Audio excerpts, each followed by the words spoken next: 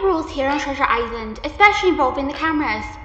With the cameras comes great responsibility, not to mention a lot of accidents when viewing some of the areas. Stop looking in the end in the bathroom. Sorry, Mickey.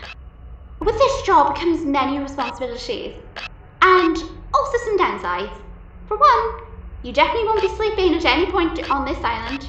No, I'm afraid some of its residents tend to talk a lot at night, and they'll definitely keep you up with their prayers.